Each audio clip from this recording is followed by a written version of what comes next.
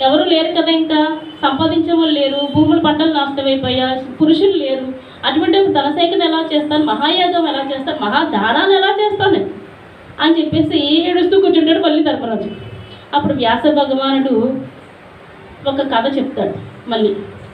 దీంట్లో మళ్ళీ ఒక అంశాన్ని చెప్తాడు.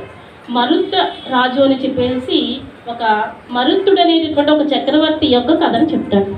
అంటే ధైర్యం కోసం మనోధైర్యం కోసం. మనోధైర్యం ఉంటేనే మనం ఏ పనైనా చేయగలం. పై పై ధైర్యం కాదు మన మనసులో ధైర్యం ఉంటేనే మనం ఏదైనా సాధించగలం. దాని ద్వారా మనం శ్రమ పడితేనే మన విజయం అనేది సిద్ధిస్తుంది. అప్పుడు కథ చెప్తాడనమాట మరుత్తుడు అనే రాజు పూర్వకాలంలో మహాయాగాలు యజ్ఞాలు దానాలు చేశాడు. కొన్ని కొన్ని టంకాల బంగారు నాణాలు దానం ఇచ్చేటప్పుడు అశ్వమేధ యాగాలు చేసి అప్పుడు చేసినటువంటి అనమాట దారాలు దానాలు ఇవన్నీ కూడా. ఆ బ్రాహ్మణులు మోయలేక అంత సంపదను మోసుకుని తీసుకువెళ్ళలేక కొన్ని వదిలేశారు అక్కడే. కొన్ని వదిలేసి కొన్ని మాత్రం తీసుకెళ్ళారు. ఆ వదిలేసిన సంపదను అంతా కూడా హిమాలయ పర్వతాల్లో దాచారు. ఆ నిధిని ఎక్కడ దాచారు?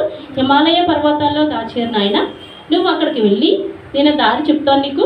అక్కడికి వెళ్ళి ఆ నిధిని బంగారాన్ని అంతా నువ్వు తీసుకొచ్చి ఇక్కడ యాగాలు చేయడానికి దానాలు చేయడానికి ఉపయోగించంటాను ధర్మరాజు ఒప్పుకుంటాడా? ఒప్పుకోడు. అదేంటి? నాది కాదు కదా నా సొంతం కాదు కదా ఎవరో దాచుకున్న దోచుకు రమ్మంటావు ఏంటి అని అడుగుతాడు ఎవరో దాచుకున్నది దోచుకు రమ్మంటారు ఏమిటి అంటాడు. లేదు నాయన నువ్వు అలా అపోహపడవద్దు.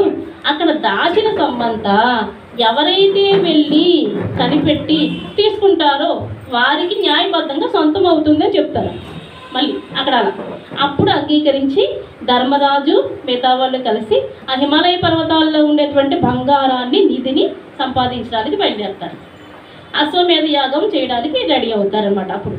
ఈలోగా అశ్వమేధ యాగానికి మరి బంధువులందరినీ పిలుస్తారు కదా అర్జునుడితోటి శ్రీకృష్ణుని తీసుకురమ్మంటాడు.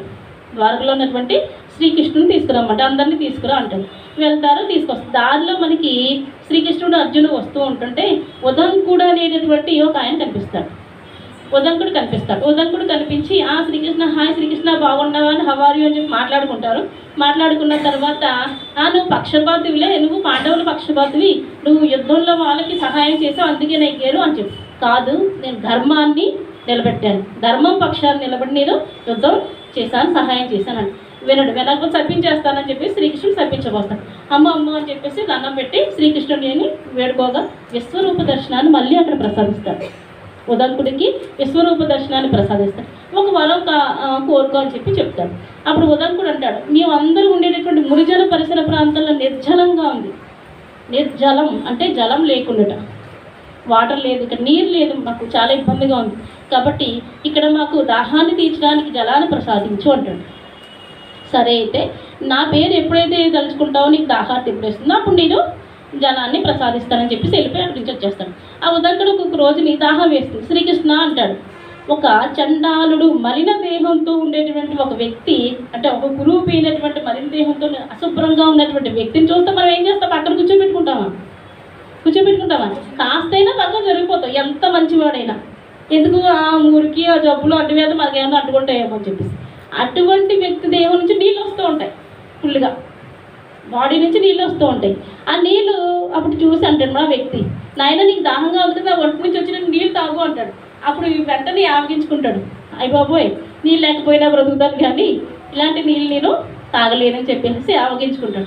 వెంటనే ఆ- వ్యక్తి మాయమైపోతాడు. ఇదేంటి మాయమైపోయాడని శ్రీకృష్ణుని తలుచుకోకొని వస్తాడు. ఒరే పిచ్చివాడా వచ్చింది ఇంద్రుడు. వచ్చినది ఇంద్రుడు. అతడి ఒంటి నుంచి వచ్చే జలం అమృతం. అతని ఒంటి నుంచి వచ్చినటువంటి జలం అమృతము అని చెప్తాడు. అయ్యయ్యో నేను చాలా తప్పు చేసేనే ఎలాగా? అంటే నీకులాగే చాలామంది జీవులు బయట బాహ్యంగా ఉన్నటువంటి వాతావరణాన్ని చూస్తారు కానీ లోన యొక్క మంచిని మనసుని చూడరు. అశుద్ధ దేహమైన శుద్ధమైన ఆత్మను పరిశీలించాలి. దాంట్లో ఉన్నటువంటి మంచిని గ్రహించాలి అని చెప్పేసి దాంట్లో మళ్ళీ అక్కడ వివరిస్తాను అనమాట మరి ఎలాగా నీళ్ళు అంటే సరే మేఘాల ద్వారా వర్షం పడుతుంది అంటే ఆ మేఘాలకి నీ పేరే ఉంటుంది ఉదంక మేఘాలు అంటారు. గట్టిగా మన గాఢంగా పడినటువంటి మేఘాలని ఉదంక మేఘాలు అని పేరు పెట్టాడు అప్పటి నుంచి. అలా మనకి ఆ కథ అక్కడ పూర్తవుతుంది. అంటే పై పై మెరుగులు చూసి మనం మోసపోకూడదు సుమా. మనకి మంచిని మనం గ్రహించాలి అని చెప్పేసి ఒక అంశాన్ని మనకి అక్కడ చెప్తాడు. అలా అది అవ్వి శ్రీకృష్ణుడు అర్జునుడిని తీసుకొస్తాడు ఇంటికి. తీసుకొచ్చే టైంకి ఉత్తర గర్భవతిగా ఉంటుంది కదా ఏ- అది యుద్ధం జరిగే టైంలో మనకి అశ్వత్థామ ద్రోణాచార్యుని యొక్క కుమారుడు అశ్వత్థామ వేసినటువంటి బ్రహ్మఘాతానికి ఆ బాణానికి లా ఉత్తర కడుపులో ఉన్నటువంటి పిండం చనిపోతుంది. అప్పుడు మృత శిశువునే జన్మిస్తున్నాడు మృత శిశువు పుడతాడనమాట ఆ మృత శిశువు పుట్టగా అందరూ చాలా శోక సందర్భంగా మునిగిపోతారు రాణి వస్తాం అంతా ద్రౌపది కుంతి వీళ్ళందరూ కూడా గాంధారి ఉత్తర వీళ్ళందరూ ఏడుస్తూ ఉంటారు శ్రీకృష్ణుడు వెళ్ళేటప్పుడు ఏంటి నాయన? అంటే ఇలా మృత శిశువు పుట్టింది. అంటే శ్రీకృష్ణుడు అక్కడ వరం ఇస్తాడు. నేను అభిమన్యుని యొక్క పుత్రుడికి అంటే పాండవ వంశాన్ని రక్షిస్తాను ప్రాణం పోస్తానని అక్కడ వాగ్దానం చేస్తాడు. నువ్వు చేసావు కాబట్టి నా కుమారుని బ్రతికించు అని చెప్తే అక్కడ ఉత్తర గర్భాన్ని పుట్టినటువంటి మృత శిశువుని బ్రతికిస్తాడు. ప్రాణం పోసి శ్రీకృష్ణ పరమాత్మ చేసిన మరొక అద్భుతం అది. అక్కడ ఉదంకునికి విశ్వరూప దర్శనం ఇస్తాడు. ఇక్కడేమో ప్రాణాన్ని ప్రతిష్ట చేస్తాడు. చేసి వంశం అంతరించిపోయే ముందు పుట్టాడు కాబట్టి పరీక్షిత్తు. అంటే క్షీణించేటప్పుడు పుట్టాడు కాబట్టి వంశం పరీక్షిత్తు అనే పేరు పెడతాడు ఉత్తరాభిమాన్యుల కుమారుడే పరీక్షిత్ మహారాజు. ఆ పరీక్షిత్ మహారాజు అంటే పాండవ వంశాన్ని అక్కడ మనకి నిలబెట్టడం జరుగుతుంది. ఇలా నిలబెట్టిన తర్వాత మనకి అర్జునుడు అశ్వమేధ ఈ ధర్మరాజు బంగారు నాణాలు ధనాన్ని తీసుకొచ్చేస్తాడు ఇక్కడికి. తీసుకొచ్చిన తర్వాత అశ్వమేధ యాగం మంచి ముహూర్తం చూసి పెడతారు అశ్వమేధ యాగం అంటే ఒక అశ్వాన్ని తయారు చేసి అశ్వాన్ని వదులుతారు మొత్తం. ఏ ఏ దేశాలు వెళ్తున్నా ఏ ఏ దేశాల్లో ఉన్న వాళ్ళందరూ కూడా ధర్మరాజు సార్వభౌమాధికారాన్ని అంగీకరిస్తే ఆ రాజ్యంలో కలిసిపోయినట్టు. ఎదిరిస్తే యుద్ధం చేసి లొంగ తీసుకుంటారు. ఇలా అస్సం ఎక్కడి వరకు వెళ్ళిందో అంతవరకు కూడా మొత్తం యావత్ భారతదేశం ధర్మరాజు ఆధీనంలో ఉంటుంది. దాన్ని అశ్వమేధ యాగం అంటారు. ఈ అశ్వమేధ యాగం ఎందుకు చేస్తున్నారు? అశ్వమేధ యాగం అనంతరం అవభృత స్నానం చేస్తారు. యజ్ఞాన్ని స్వీకరించినవారు ఆ అవభృత స్నానం ద్వారా బంధుజన వధ అనే పాప బీద తొలగుతుంది. అంటే పుణ్యం వస్తుంది అన్నమాట కాబట్టి నీకు అప్పుడు ఉన్నటువంటి పాపం అంతా పోతుంది అని చెప్పడం ద్వారా వ్యాస మహర్షి ఈ అశ్వమేధ యాగాన్ని చేస్తారు. ఈ అశ్వం వెళ్ళింది. కొన్ని దేశాలు వెళుతుంది కొంతమంది లొంగిపోతున్నారు. శాంతి వచ్చిన ద్వారా అర్జునుడు అశ్వాన్ని అక్కడ దేశాధిపతులందరినీ లొంగదీస్తున్నాడు. చివరికి ఒక ఊరు వెళ్తాడు అనమాట మణిపురం అనేటువంటి ఒక ఊరికి వెళ్తాడు.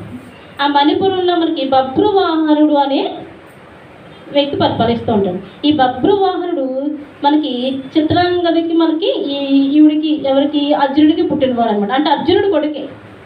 అర్జునుడికి మరొక భార్య పేరు ఉంటుంది. ఉలూపి లేదా ఉలూచి అని కూడా అంటారు. నాగకన్య అనమాట ఆవిడ కురుక్షేత్ర యుద్ధం జరిగేటప్పుడు నీళ్ళు పట్టుకుంటుంటే ఒక రహస్యాన్ని వింటుందంట. ఏది అంటే మనకి అర్జునుడిని చంపేస్తాను యుద్ధంలోని లేదా ఇలా చంపబడతాడు అని చెప్పేసి చెప్తారండి. అప్పుడు సంజీవిని తీసుకుంటుంది వాళ్ళ నాన్నగారి దగ్గర నుంచి. వాళ్ళ నాన్నగారి దగ్గర నుంచి నాగరాజుని సంజీవిని తీసుకుని దాచిపెట్టుకుంటుంది. ఈ శాపాన్ని ఎలాగైనా అర్జునుడు చనిపోతాడనే విషయాన్ని ఎలాగైనా చంపాలి బ్రతికించాలని మనసులో పెట్టుకుంటుంది. అప్పుడు ఈ బబ్రు వాహనం రెచ్చగొడుతుంది అనమాట ఎవరి మీదకి? తండ్రి మీదకే. అర్జునుడి మీదకే రెచ్చగొట్టి యుద్ధం చేయించి ఆ బబ్రు వాహనుడి చేత బాణాలతో అర్జునుడు చంపించేస్తుంది. చూడండి ఇక్కడ అర్జునుడు చనిపోతాడు. బబ్రు వాహనుడు చేతిలో తండ్రి కొడుకు చేతిలో చనిపోతాడు. అక్కడ మనకి ఆవిడ వచ్చి ఆ చిత్రాంగద ఆవిడ వచ్చి ఏడుస్తుంటారు ఇదేంటి? సావతివి అయ్యి ఉండి నువ్వు మన భర్తను చంపించేస్తావని విలవల ఏడుస్తుంటుంటే మీరేం భయపడుతున్నా సంజీవుని పెట్టి అర్జునుడు పెట్టి మళ్ళీ అర్జునుడు బ్రతికించేస్తుంది. ఇదంతా చె- చెప్పుద్ది అనమాట ఓహో అలాగా అని చెప్పేసి అప్పుడు ఈ ఉలూచిని అందరూ కూడా మెచ్చుకుంటారు. ఇలా ఈ అర్జునుడుకున్నటువంటి శాప విముక్తి కూడా మనకు అక్కడ కలుగుతుంది. అప్పుడు వీళ్ళందరినీ జయించిన తర్వాత అశ్వాన్ని తెచ్చేస్తాడు. అన్ని దేశాలు జయించి వచ్చేస్తాడు అర్జునుడు. వచ్చిన తర్వాత అశ్వమేధ యాగం బ్రహ్మాండంగా పూర్తవుతుంది. వ్యాస భగవానుడికి మొత్తం ఈ దేశాన్ని అంతా కూడా దాన ధర్మం ఇచ్చేస్తానంటే అప్పుడు అంటాడు వ్యాస భగవానుడు. నువ్వు తెచ్చినటువంటి బంగారు నాణాలన్నీ కూడా ఈ భూమికి సరిపడే ఎంతో అంత దానం ఇవ్వి స్వర్ణదానం ఇవ్వి. ఈ భూమిని నువ్వే పరిపాలించు అంటాడు. అప్పుడు అలా జరుగుతుంది. ఆ యాగం ముగుస్తుంది. అవప్రద స్నానం అవుతుంది. పుణ్యం లభిస్తుంది. అక్కడికి చివరి మెలికి ఏంటంటే ఒక ముంగిస్ వస్తుంది. ఒక ముంగిస్ వస్తుంది అనమాట ఆ ముంగిస్ వచ్చి వీళ్ళందరినీ తిడుతుంది. చేశారులే యాగం. ఇది ధర్మయాగమా? హింసతో కూడుకున్న యాగం. ఎందుకు? యుద్ధాలు చేస్తూ కొంతమంది నరుకుతూ రాజ్యాలు సంపాదించుకున్నారు ఇక్కడ. ఎగ్జామ్ పనులు చేసి యజ్ఞాలు చేశారు. దీనికి పుణ్యం వస్తుందా? పాపం కాకపోతే. ఇది అధర్మ యాగం. హింసతో కూడిన యాగం అని చెప్పేసి అంటుంది. ఆ ముంగిస చూడడానికి సగం బంగారం సగం ముంగిస. చాలా విచిత్రంగా అనిపిస్తుంది. అక్కడ ఉన్న వాళ్ళందరూ ఆశ్చర్యపోతారు. ఏంటి సగం ముంగిస సగం బంగారం ఉంది? పైగా ఈ మహాయాగాన్ని తప్పుపడుతుంది అధర్మం అంటుంది. ధర్మమైన యాగాన్ని అధర్మం అని నిరూపిస్తుంది. ఏమిటి ఇది అని చెప్పేసి అందరూ ఆశ్చర్యపోయి స్టన్ అయిపోతారు. మళ్ళీ ధర్మరాజుకి మనసులో ల్యాప్టాప్ కొట్టుకుంటూ ఉంటుంది అనుకోండి. ఇదేంట్రా బాబు? ఇప్పుడే కదా పాపం తగ్గిపోయిందని నేను అనుకున్నాను. ఇది వచ్చే బా- అధర్మం అంటుంది. ఏమిటా అని చెప్పేసి అంటే ఆ ముంగిస్ మళ్ళీ ఒక చిన్న స్టోరీ ఉంటుంది. చిన్న కథ మళ్ళీ. ఆ ముంగిస్ ఎవరంటే జమదగ్ని మహర్షి. ఆ జమదగ్ని మహర్షి హోమధేను పాలు పేలపిండి అక్కడ తినే ఆహార పదార్థాలు అప్పుడు. అవి దగ్గర పెట్టుకుని ఒక భూతం వచ్చి పడగొట్టేస్తుందంట. పితృదేవతల కోసం దాచింది. అవి సర్లే చూసి సరే పోతామే కదా అని చెప్పి వదిలేస్తాడు. దాన్ని మీద కోపపడటం ఎందుకని చెప్పేసి. అది పడిపోయిందని చెప్పి పితృదేవతలు అతను శపిస్తారంట. మాకు ఇచ్చినటువంటి ఆహారం నేలపాలు చేసినా నువ్వేం అనలేదని చెప్పి వాళ్ళ కోపం వచ్చి నువ్వు ముంగిస్ రూపంలో మారిపో అని చెప్పేసి శపిస్తారంట. అప్పుడు ముంగిస్ అయిపోతారు. అయ్యయ్యో నేను నేను మామూలుగా ఇలా అనుకున్నాను తప్పించి నాకు శాప విమోచనం ఇవ్వండి అని చెప్పేసి అడిగితే మహాధర్మాన్ని అధర్మంగా ఎప్పుడు నిరూపిస్తావో? చూడండి.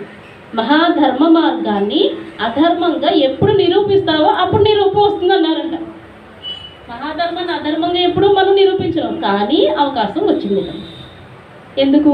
అప్పుడు ముంగేస ఇక్కడికి వచ్చింది కాబట్టి చెప్తుందనమాట నేను ఏ మహాయాగంలో ధర్మ యాగంలో పాల్గొంటే ఆ నీళ్ళు నాకు తగిలితే అది బంగారం అవుతుందో లేదా ముంగిస్గా మారుతానో అది ధర్మ మార్గం నేను మారలేదు కదా కాబట్టి ఇది అధర్మం అని నిరూపించింది.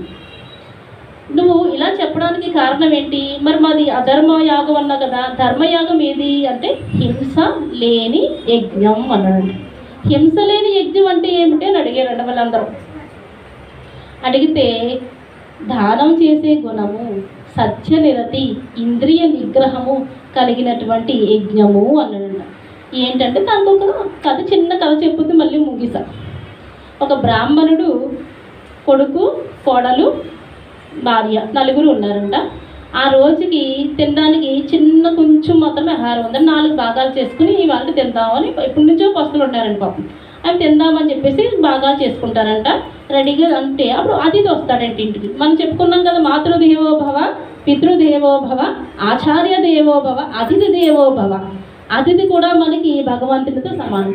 ఆ టైంకి వచ్చినటువంటి అతిథికి సరే అని చెప్పేసి ఇంటి యజమాని అయినటువంటి బ్రాహ్మణుడు నేను పెడతాను ఆహారం మీరు తినండి అని చెప్పేసి యజమాని ఏం చేస్తాడు? తన ఆకలి చెప్పకుండా ఇతరులు కాపాడే బాధ్యత ఆయన మీద ఉంటుంది కాబట్టి ముందు తను తినకుండా భార్యని కొడుకుని కోడల్ని చూసుకుని నా ఆహారాన్ని ఆయనకి పెడతాను అని చెప్తాడు.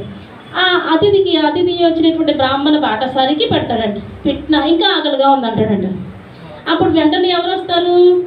భర్త తర్వాత భార్య వస్తుంది. భార్య వచ్చి పిల్లల దగ్గర ఎందుకు తీసుకోవడం? ఏమండి మీ సహధర్మచారిణి కాబట్టి ఈ మీ వెంట నేను నడుస్తాను కాబట్టి మీ ధర్మ మార్గం నా ధర్మ మార్గం కాబట్టి నేను ఇస్తాను అని తన ఆహార పదార్థాన్ని ఆ బ్రాహ్మణుడికి వడ్డిస్తుందంట. వడ్డించిన తర్వాత ఇంకా ఆకలేస్తుందంటాడట. సంతృప్తి చెందాలిగా మరి అతిథి అనేవాడు. కాబట్టి వెంటనే కొడుకు వచ్చాడంట నాన్నగారు తండ్రి ప్రతిరూపమే కొడుకు కదా. తండ్రి తర్వాత చూసుకోవాల్సిన బాధ్యత కొడుకే కాబట్టి నా ఆహారాన్ని ఇస్తానని చెప్పేసి అతని భోజనాన్ని కూడా సమర్పిస్తాడు. అయినా ఆకలి తీరలేదంట వెంటనే కోడలు వస్తుంది. నా భర్త పెద్దలను అనుసరించడమే నా ధర్మం కాబట్టి అని చెప్పేసి ఆమె ఆహారాన్ని కూడా ఇచ్చేస్తుందంట.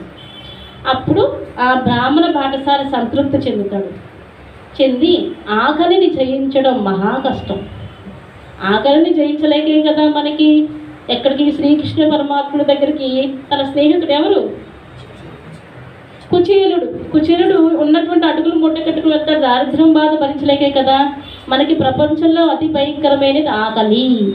అందుకే మనకి ఆకలి శుచి ఎరగదు. ఆకలి వేసినప్పుడు ఎంత చండాలంగా ఉన్నా కానీ సరే ఏది కనపడుతుంది మన నోట్లోకి వేసేసుకోవాలనిపిస్తుంది. ఆకలిగా ఉన్నప్పుడు ఏ పని చేయబుద్ది నీకు ఆకలిగా ఉన్నప్పుడు నీకు అది ఇస్తాను ఇది ఇస్తానని ఏది ఇచ్చినా నీ చేతిలో కోటి బంగ్ కాసులు బంగారం ఉన్నా నీ ఆకలి తీరుతావు బంగారం తినవు డబ్బులు తినవు ఏమి తినవు. నీకేం కావాలి? ఆకలి తీర్చడానికి ఆహారమే కావాలి. కాబట్టి ఏ దానాలు ఇచ్చినా సరే చాలు అనే మాట అనిపించడం కానీ అన్నదానం పెట్టి కడుపు నిండా పెడితే చాలు అనే మాట వస్తుంది కాబట్టి అన్ని దానాల్లో గొప్పది అన్నదానం. ఆకలి తీర్చడం. ఆకలి తీర్చడమే గొప్ప మహాదానం అని చెప్తాడు భీష్ముడు మనకి అనుశాసనిక పర్వములు కాబట్టి ఇక్కడ నా ఆకలి తీర్చాం ఆకలికి జయించాం ఇంద్రియాన్ని నిగ్రహించుకున్నాం కాబట్టి మీ ఫ్యామిలీ మొత్తం కూడా మీ కుటుంబం అంతా కూడా బ్రహ్మలోకానికి బ్రహ్మ పదిన పంపించినటువంటి రథం ద్వారా సశరీరంతో శరీరంతో సహా మీరు బ్రహ్మలోకానికి వెళ్తారని చెప్పేసి పంపిస్తానమాట ఇది అక్కడ ఆ బాటసారికి కాళ్ళు కడిగినటువంటి నీళ్ళు ఉంటాయి కదా ఆ నీటిలో ఆ పేలపిండి వాసనకి నేను వెళ్ళి తడిసిన వల్ల నా బంగారం అయిపోయింది సగం. ఆ యజ్ఞంలో నేను పాల్గొన్నాను కాబట్టి. ఇది మహాధర్మ యజ్ఞం అన్నారు కదా ఈ కాస్త కూడా నేను ప్రతిరూపాన్ని తెచ్చుకోవడానికి ఇక్కడికి వచ్చింది కానీ ఇక్కడ ఏం పని అవ్వలేదు. కాబట్టి అదే అహింసాపూర్వకమైనటువంటి ధర్మయజ్ఞము. ఇది కాదు అని నిరూపించానని చెప్తుంది ఆ రకంగా మనకి ఆ ముంగిస జమదగ్ని రూపంలో మనకి తర్వాత వెళ్ళిపోతుంది అప్పుడు ఏమవుతుంది? ఇక్కడ మనకి అది కరెక్ట్ అవుతుంది. మనకి ఇది కూడా మనకి కరెక్టే ఎందుకో శాప విమోచనం కోసం అలా నిరూపించాడు కాబట్టి అది అన్నట్టు ఇది మనం మహాయజ్ఞం ద్వారా అవభృత స్నానం చేసి మహాపాపాన్ని బంధుజన వద అనే మహాపాపాన్ని పోగొట్టుకున్నాడు కాబట్టి ఇది కూడా సత్యము ధర్మము అని చెప్పి నిరూపిస్తుంది. ఈ కథ ఇక్కడతో మనకి ఈ శాసనం అనేది ఈ పర్వం అనేది పూర్తవుతుంది. ఈ విధముగా అనుశాసనిక పర్వాన్ని అనుసరించి మనకి అశ్వమేధ యాగం అశ్వమేధ పర్వం అనేది ముగుస్తుంది. ఈ అనుశాసనిక పర్వానికి ముందు శాంతి పర్వం. శాంతి పర్వంలో భీష్ముడు ధర్మరాజు చెప్పిన శాంతి ధర్మాలు రాజధర్మాలకి ప్లస్గా మనకి కొనసాగింది అనుశాసనికం. అనుశాసనికంలో నేర్చుకున్న దాన ధర్మ గుణాలను బట్టి మనకి ఇక్కడ దానం యజ్ఞం అనేది కనిపిస్తుంది. ఈ విధంగా మనకి మహాభారత పద్దెనిమిది పర్వాలలో పదమూడవ పద్నాలుగవ పర్వాలైనటువంటి ఈ కథాభాగాల్ని సూక్ష్మంలో మోక్షం అనే విధంగా జస్ట్ నేను అలా తాగాన్ని తప్పించి పూర్తిగా అందులోకి వెళ్ళి మనకి వివరించడానికి ఇక్కడ సమయాభావం లేదు కాబట్టి నేను అంత నిష్ణాతురాలని కాదు కాబట్టి నాకు ఈ అవకాశం ఇచ్చినందుకు మీ అందరికీ నా హృదయపూర్వక ధన్యవాదాలు తెలియజేసుకుంటున్నాను. ధన్యవాదాలు.